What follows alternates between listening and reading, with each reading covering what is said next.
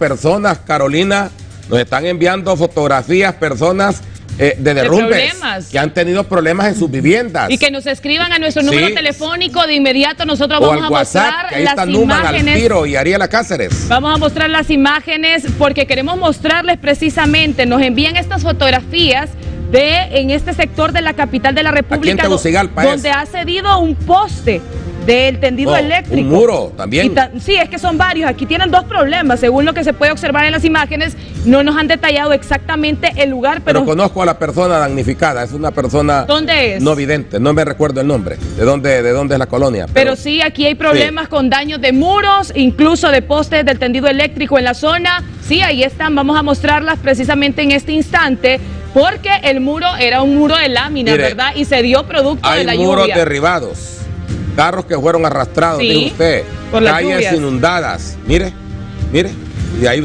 son varias las fotografías que nos han enviado solo en esta zona, solo en esta zona.